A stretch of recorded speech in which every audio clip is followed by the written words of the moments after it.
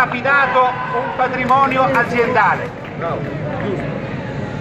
Io ho firmato davanti alle organizzazioni sindacali non solo il pagamento immediato con data odierna dello stipendio di agosto, non solo l'impegno a pagare settembre, non solo riprendo a, a, destinare una parte delle risorse alla ripresa dell'attività, a comprare il gasolio, perché quello che vi chiedo è datemi una mano a fare riprendere l'azienda. Così io, io ho firmato anche la conferma sino al 30 dicembre dell'appalto con la città metropolitana che sarà rinnovata successivamente di tre anni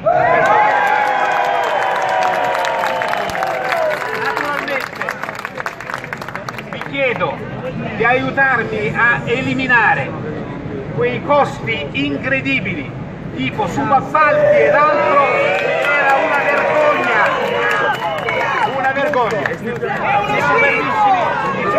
migliaia di euro e tutte le cose che non devono funzionare.